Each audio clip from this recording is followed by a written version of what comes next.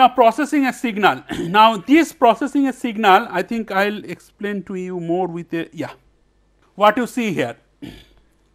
So, this is a part of a one cell okay one eukaryotic cell and this is your target cell. Okay. Your source cell may be somewhere here and that is the soluble signal and this signal molecules which is red here. So, this signal molecules it is coming to the target cell. Source to target cell it is coming by molecular diffusion means what kind of signaling it is? It is called paracrine signals. Clear? Autocrine means same cell, paracrine means through extracellular matrix and endocrine means through blood stream, right. Auto, para, endo. Now, this is a paracrine signal it comes, now it is actually being attached to the receptor protein. So, these receptor proteins means the, the proteins which are exposed to the extracellular space while being attached to your plasma membrane that is your cell plasma membrane. Okay. So, this is your receptor protein. Now, once this is activated, now that will, what will happen? This will activate. So, enter this one is known as the signal transduction mechanism.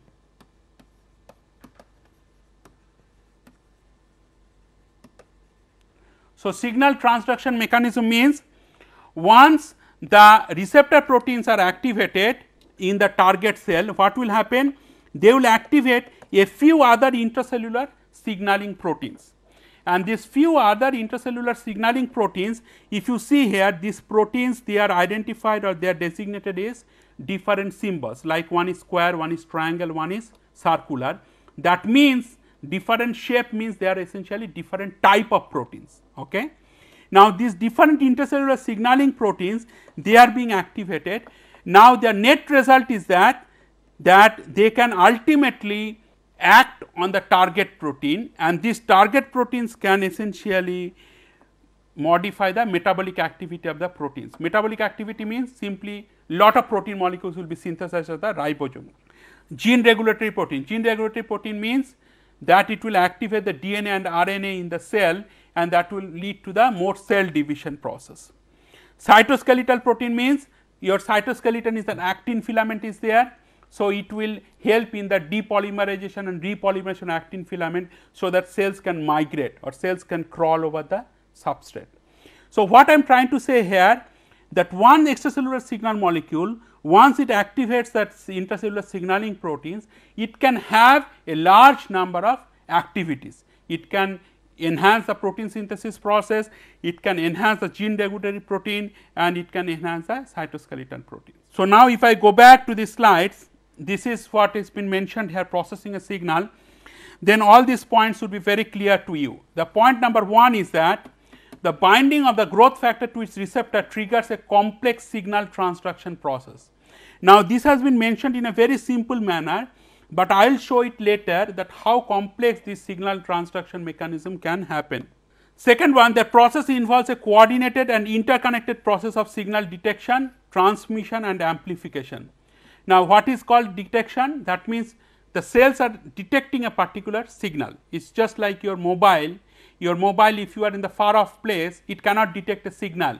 So, therefore, you cannot communicate to another person. So, simply you can understand that a cell is trying to send signals to another cell, the, the target cell is not able to detect that signals. Okay. Transmission means that how the signal is going internalized in the cell that is transmission. Amplification means what? Amplification means suppose your target cell signal molecule concentration is very low, then you are activating some intracellular signaling complex which will amplify uh, that means which will actually increase the concentration of the these signal molecules which are coming inside. Okay. So, these amplification proteins this amplification is also important. Now, once the signal is transduced it triggers a particular biochemical response as well as gene expression. So, that means this signal transduction actually triggers a particular biochemical response as well as gene expression and typically binding of a growth factor to its receptor complex elicits changes such that its intracellular components can carry out catalytic activities. Now, those things I will explain to you in a small time. Now, this particular slide actually shows you how complex can be what I am writing here complexity in signal transduction mechanism.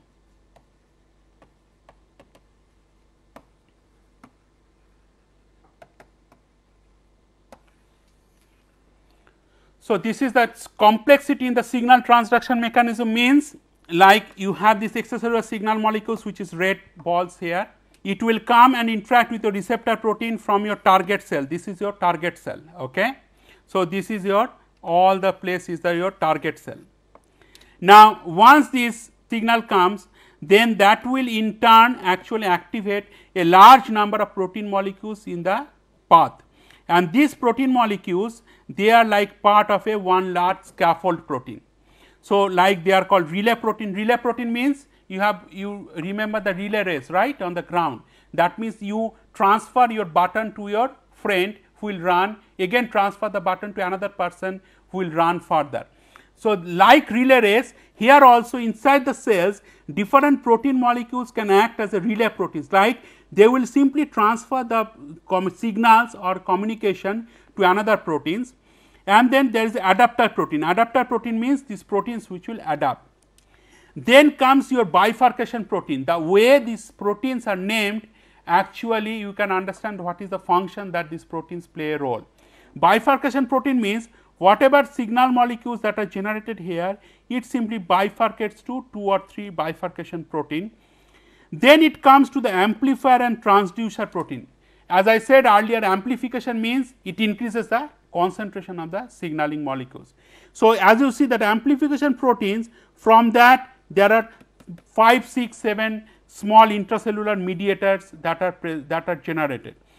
All these intracellular mediators they can again come with the help of integrator protein. Integrator protein means the protein which will integrate all the signals from 6, 7 uh, extracellular mediator they will come and then will anchor the protein and there is a modulator protein then finally the messenger protein will go inside and that will change the gene expression level. So, these type of things can take place in few minutes like 15 to 30 minutes. If this has to change in the cytoplasm, but if it goes inside then it takes a 1 to 2 hours. You understand what I am saying? What I am saying is that this entire cascade in biological language it is called cascade, signaling cascade. This entire cascade take place if it is to change in the metabolic activity of the cells or cytoplasmic activity of the cytoplasm, then it takes 15 to 30 minutes. But if it has to change the gene expression, then it takes 1 to 2 hours. Okay. And this entire slide essentially tells shows you that how complex this cell signaling process can be in general.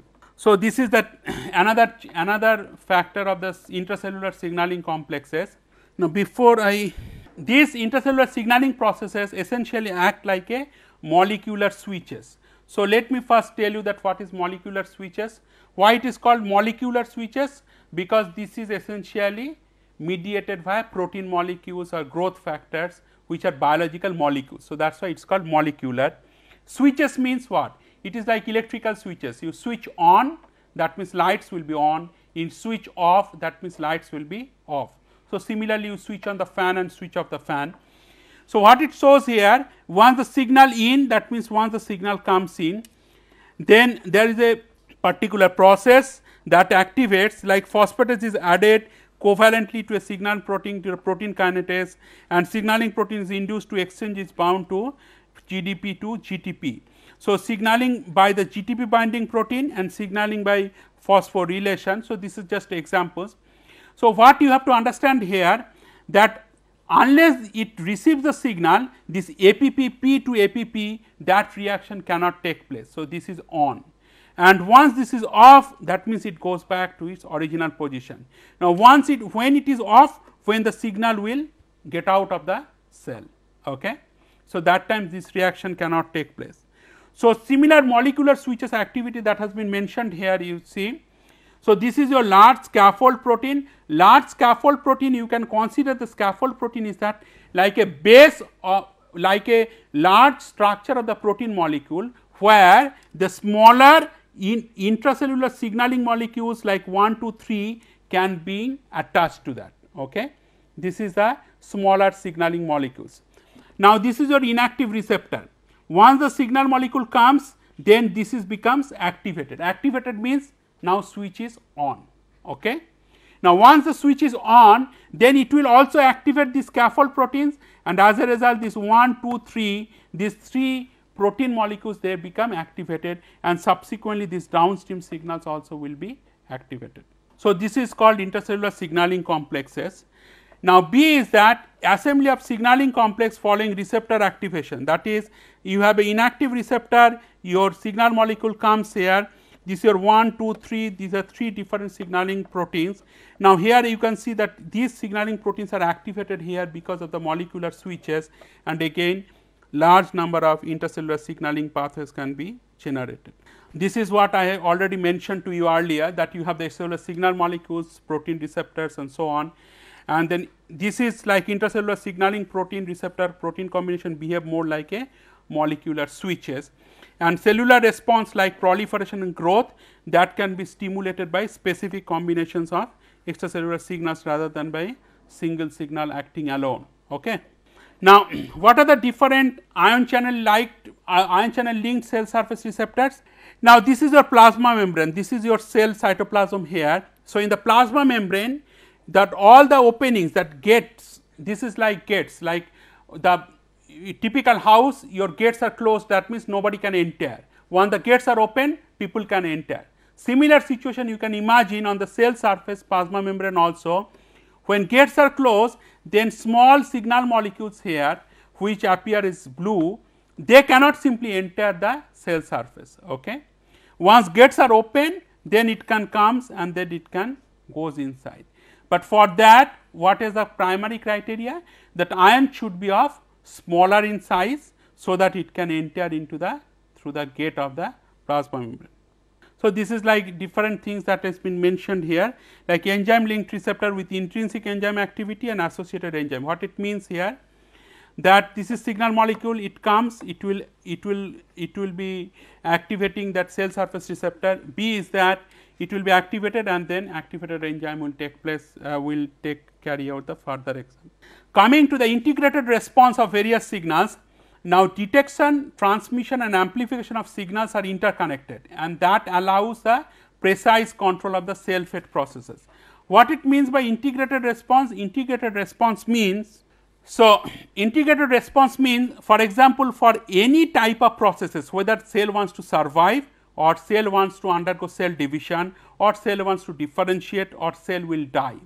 For all these cell fate processes which are part of the tissue homeostasis, now, one has to understand that each of these performance or each of these function requires not one signals, but multiple signals that A, B, C means what?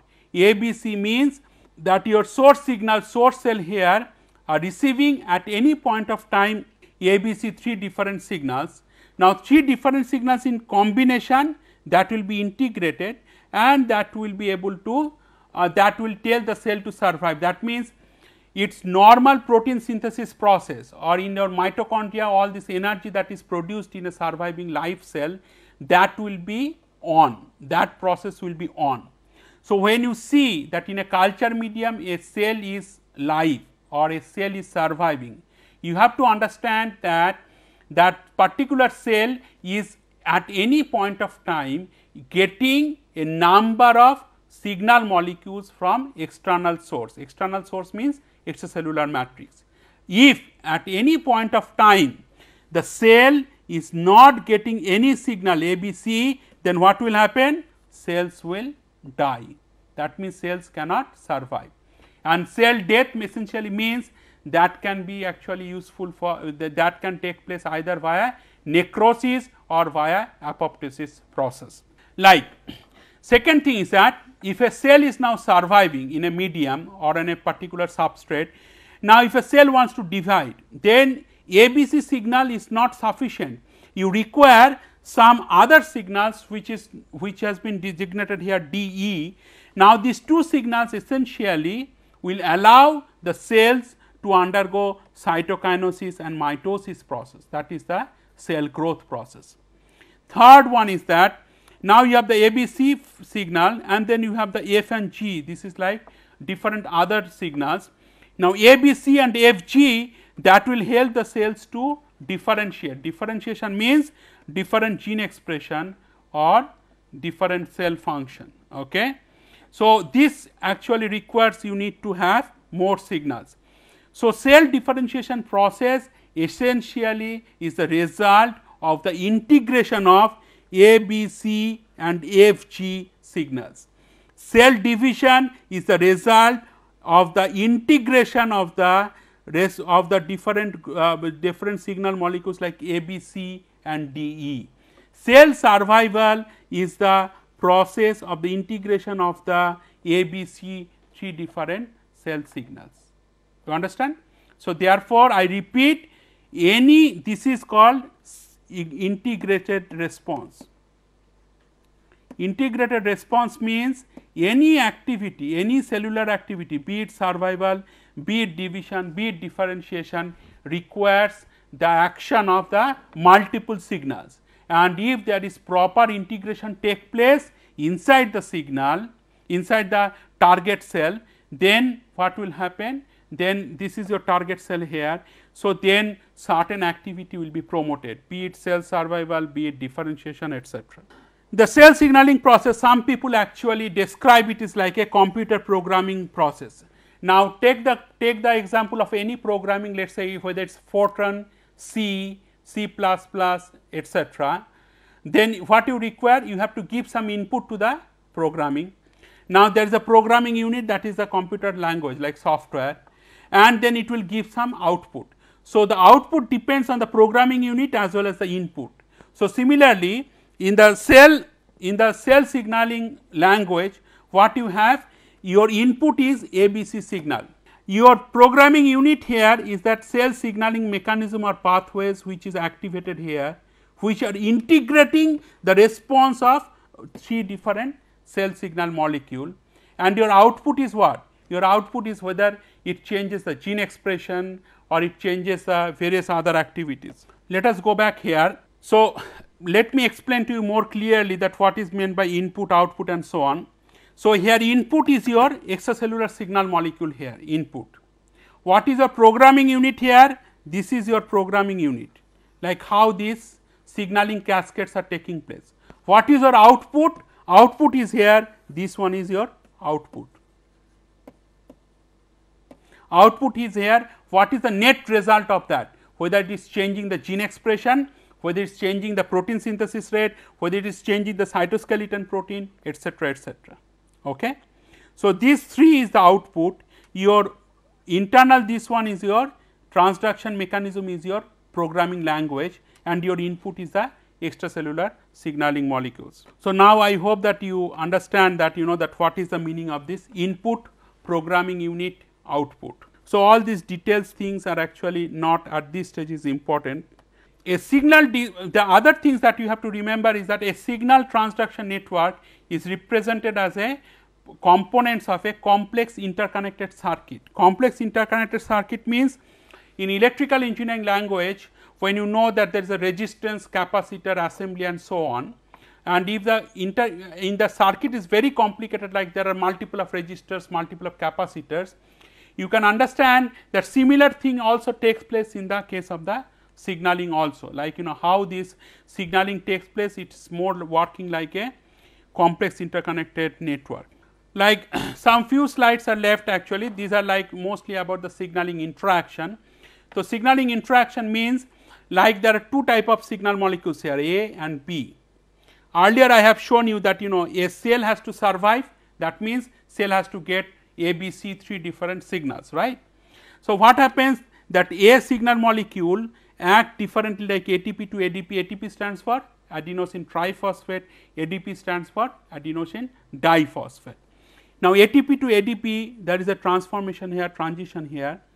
Now, similarly B signal molecule it comes and then it also gets attached to another cell surface receptor.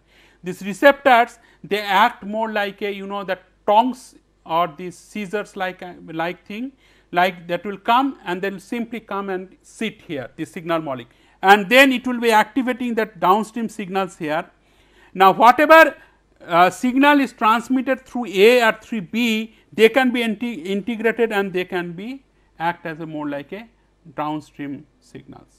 Similarly, here if you see that signaling trans signaling interaction, here again ATP to ADP and ATP to ADP transformation, but here what will happen is that this signal molecule interaction A to B that is taking place via some intermediate protein molecules here A and B and they will come together then they will cause a downstream signals. So, that means the signaling pathway, pathway means how this individual signal molecule will cause the signal transduction process in the in, inside the signals. So, this is the pathway number 1, this is the pathway number 2. So, integration means it can be either 1 plus 2 or it can be more than that. So, that means the net result will be will be much more stronger than what you get individual signal. Okay. For example, Suppose there is only one signal is there A and if you have two or three multiples in that what will happen? A will actually transduce some signaling pathways here, B will some transduce some signaling pathways here, C will also transduce some signaling pathways here.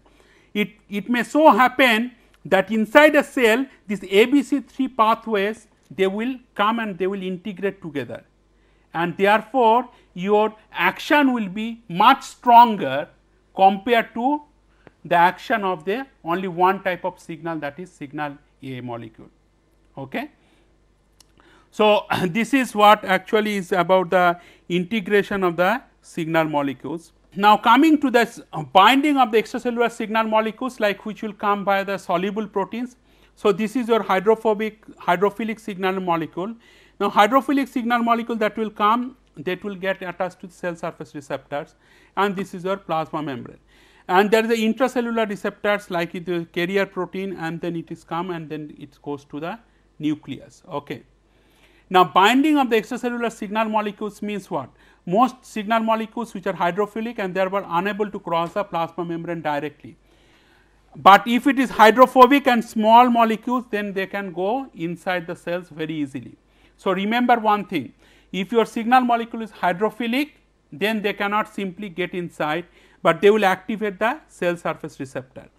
But if your signal molecule is hydrophobic, then that will go inside the cells and they will, will activate the cell uh, cytoplasm. Then the bind to cell surface receptors which in turn which in turn actually generate one or more signals inside the target cell. Now, some small molecules diffuse across the plasma membrane and bind to receptors inside the target cell either in cytosol or nucleus. Suppose there is a carrier protein and there is a small signal molecule here. Now, this signal molecule will not attach to the cell surface receptor on the surface just because the signal molecules can get squeezed into the cytoplasm and these signal molecules actually will go inside and that will get attached to a cell surface receptor or that will get attached to a receptors inside the cytoplasm. So, in this lecture uh, we will be discussing the process of cell signaling and how it is relevant for the communication between two cells. So, overall uh, this particular cell signaling process and cell communication is very important as far as the different cell fate processes are concerned.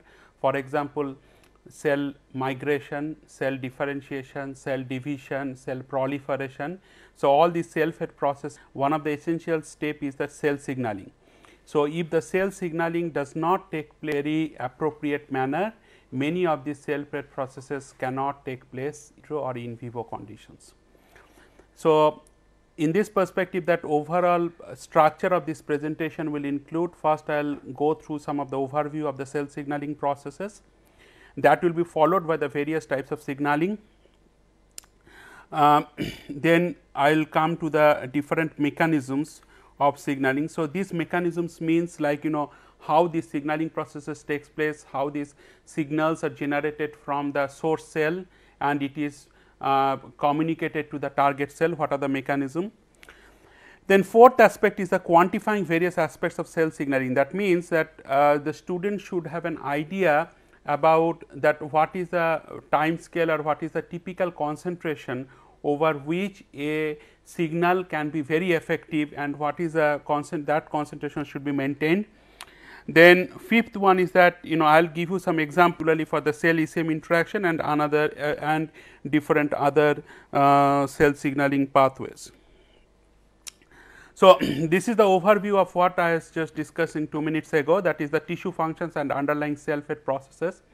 Now, coming to the tissue dynamics like tissue function like homeostasis like as I will discuss later that you know that all these cell survival, cell differentiation and utility all these things are essential components of the homeostasis process.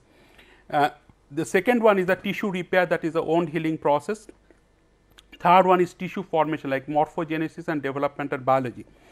Now, just few minutes back I mentioned that these are the cell fate processes like uh, this is the cell fate process like cell replication that means cell division, cell differentiation like different gene expression or different cell functionality, cell death processes like necrosis or apoptosis, cell motion like cell motility and cell adhesion. So, all these processes cannot take place unless a given cell will receive signals from another cell. So, that is what is mentioned that cells communicate and coordinate their efforts to the processes. So, all these cell communication processes outcome is that cell fate processes. So, this is a typical eukaryotic cells like nucleated cells and you can see that this process 2 means that it these particular cells can be going to another state that is the differentiated state then cell replication means these cells will uh, increase in number. Cell adhesion means that it is an biomaterial biomaterial substrate and on which this there is protein adsorption as as mentioned before and this protein adsorption is important for the cell adhesion process. Cell motility means like a child walks on the ground similarly how the cells will walk on the substrate or a given biomaterial substrate. So, like that cell motion and these how these cells uh, like uh, maybe I have mentioned earlier that you know cells have also filopodia or lamellipodia like human being has legs and hands. So, similarly the cells this through lamellipodia extension or filopodia extension the cells can walk on the material substrate. And number 3 process is the cell death like you know cells will no more be surviving because of the necrosis or apoptosis. Now, coordination of the cellular fate processes. So, cell communication essential to coordinate their activities and occurs that takes place in three principal ways. Number one is that soluble signals. So, here the soluble signals means that a source cell will generate or will essentially secrete some kind of soluble signaling. They will generate some biomolecules uh, or protein molecules or molecules and these are known as signals. So, it can be cytokines or it can be chemokines. Cytokines are actually growth factors. Now, growth factor this term needs definition. So, growth factors are essentially that cause growth factors essentially cause proliferation and differentiation. So, these are like cytokines and chemokines means growth factors that induce cell migration. So, essentially cyto means that is essentially related to proliferation and differentiation. Chemokines means which is essentially related to the cell migration. Now, again there are three types of uh, soluble signals signaling processes.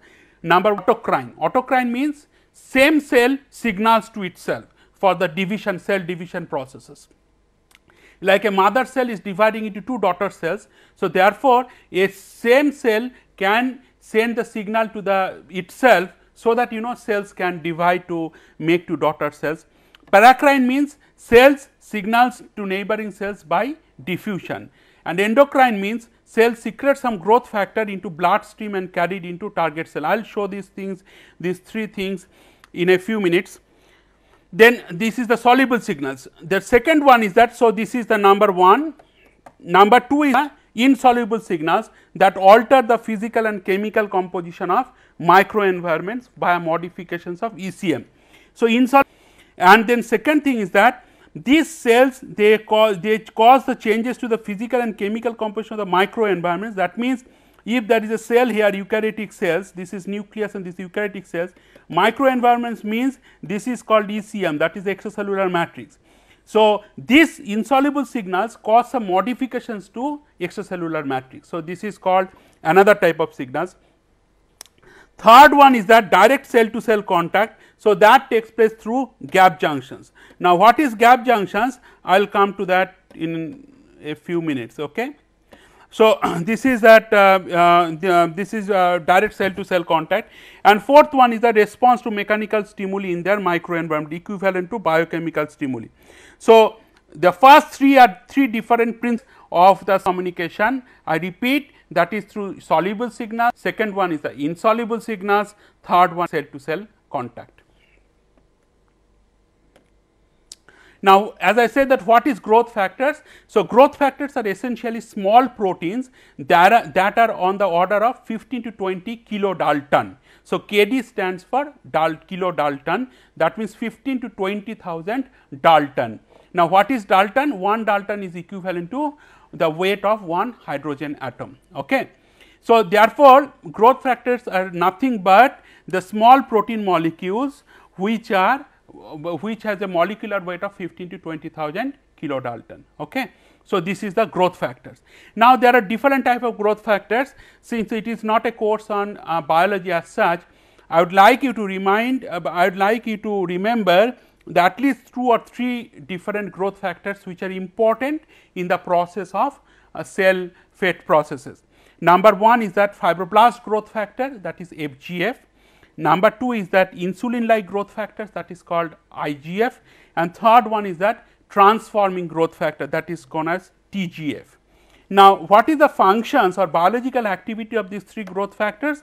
Now, fibroblast growth factors they are essential biological activities mesodermal and neuro uh, about 9 in skeletal and nervous system development. So, these particular growth factor that is the fibroblast growth factor they essentially help in the development of skeletal and nervous system development uh, nervous systems. Insulin like growth factor IGF that stimulates proliferation and differentiation of different growth factors.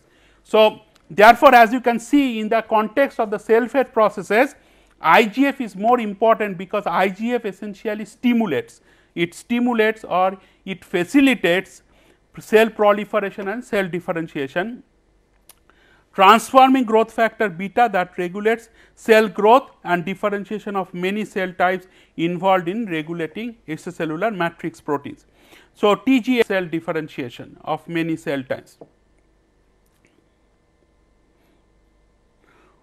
So, as I said in the last lecture, uh, last slide that you know three types of growth factors are important I repeat. FGF is 5, IGF is that insulin growth factor and TGF is transforming growth factor.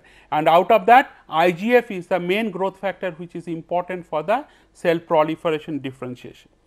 Now, two or three slides back I mentioned that you know what are the different types of uh, cell signaling process. Uh, contact dependent that is that through gap junctions and then three other type of growth factors that I uh, sorry three other types of signalings that I have mentioned that is so if you remember correctly there are three ways this signaling take place. One is that soluble signals second one is that insoluble signals third one is direct cell to cell contact. Category of soluble signals there are three different ways this signaling can take place. One is that autocrine one is called crine.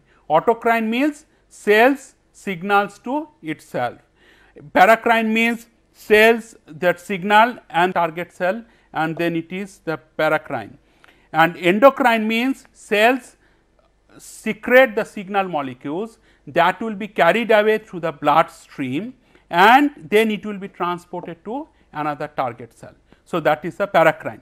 Now, here you can see that is the first one is the contact dependent. So, this is your signaling cell S and this is your target cell T. So, from signaling cell the signal molecules you can see membrane bound signal molecule that is the red one and this is your target cell green one is the your target cell cell surface receptor. So, they will come and then they will attach they will get attached to the cell surface receptor on the target cell and then they will cause some changes in the target cell T.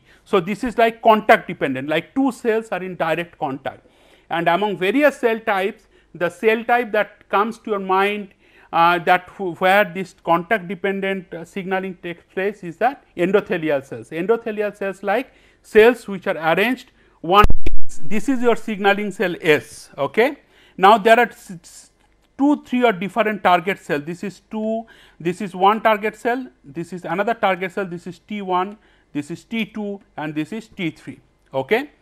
Now, these are all eukaryotic cells as you can see. Now, they create two or three different type of signaling proteins for example. Now, one of the signaling proteins can be transported to this T3, but via local mediator.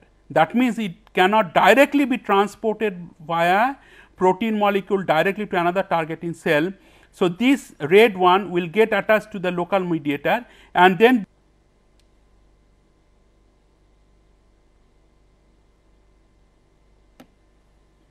So, this local mediator can uh, can be transported to the target T3 cell. Similarly, different uh, local mediators are present as you can see this is another local mediator and this is another local mediator.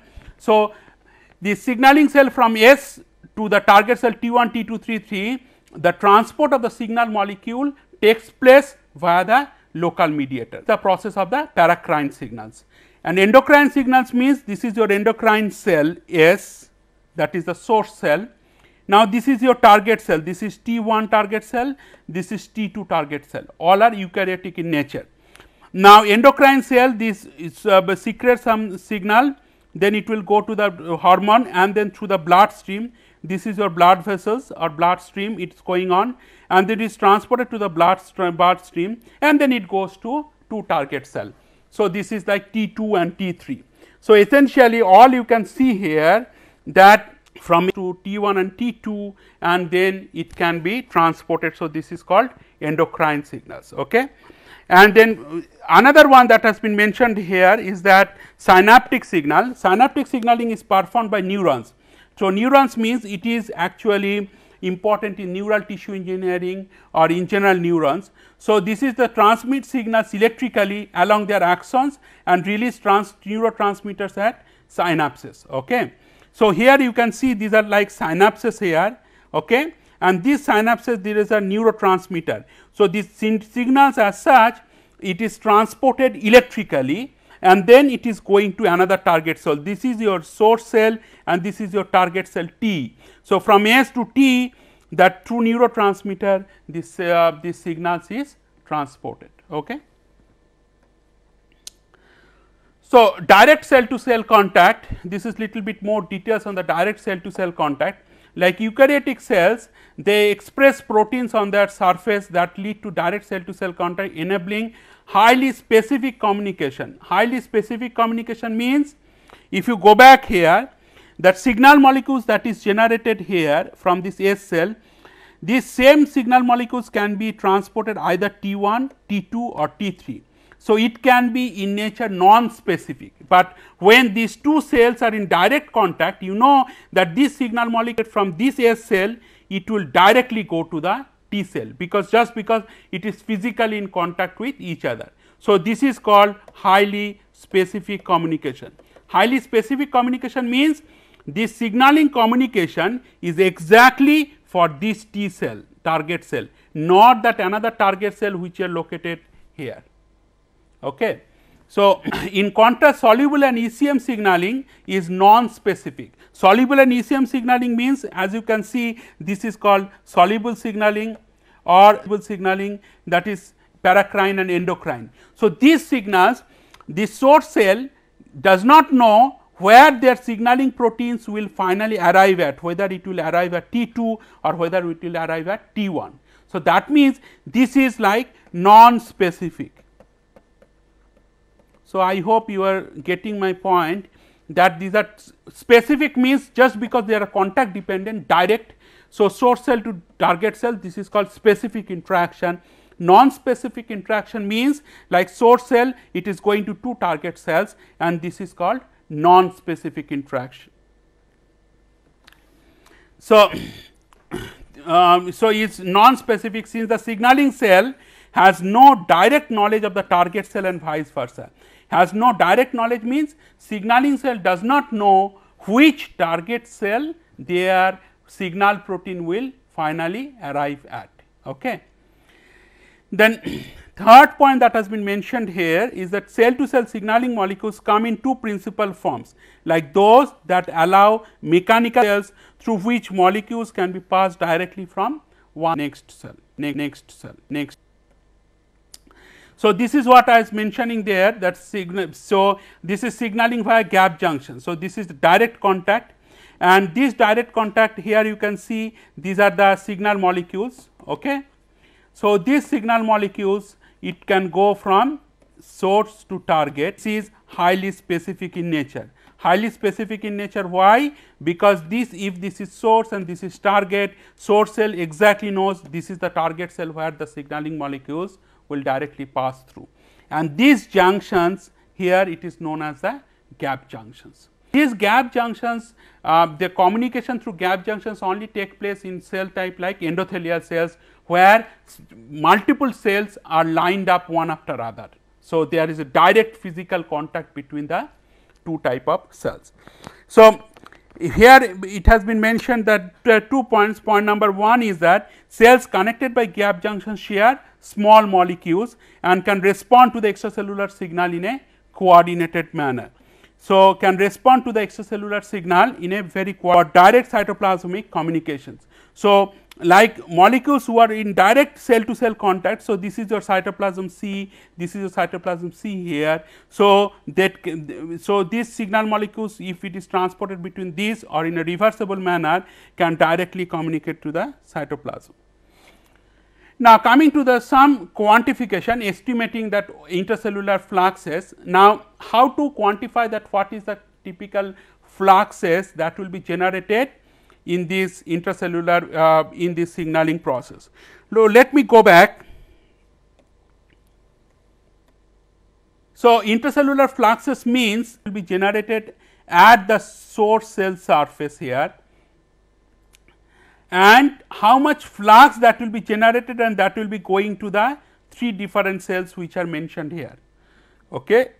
So, that means what I am trying to tell you is that that what would be the flux of the target what is the what will be the flux of the signal molecules that will be transported from one signal cell to multiple target cells.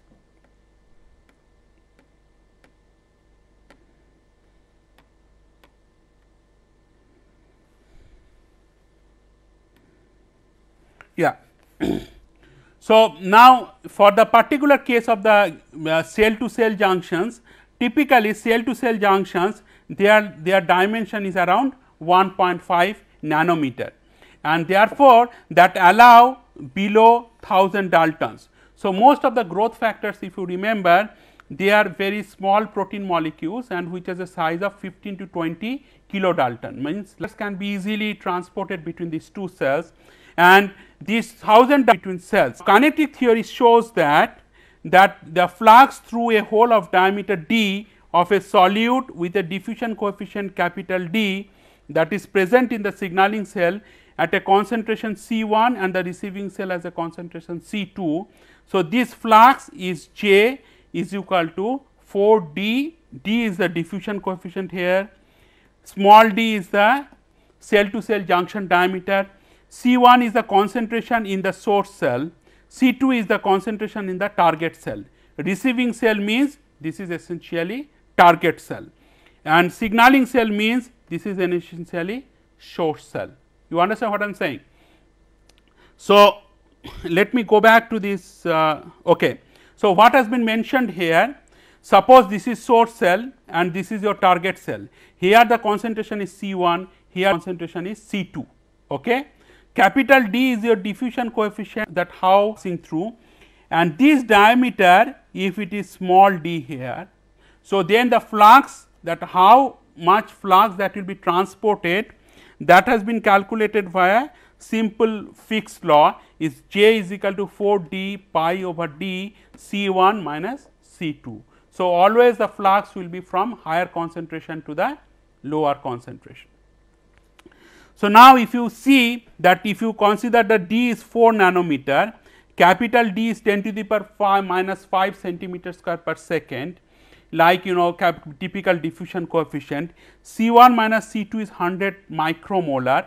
Then what would be the typical flux? This typical flux would be 2.4 into 10 to the power 5 molecules per pore per second. So, let me go back to this slide and let me explain to that.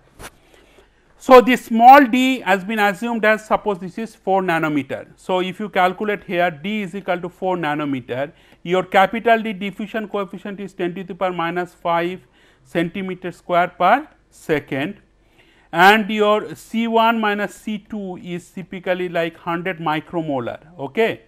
Then this flux which is F it is like 2 2.4 into 10 to the power 5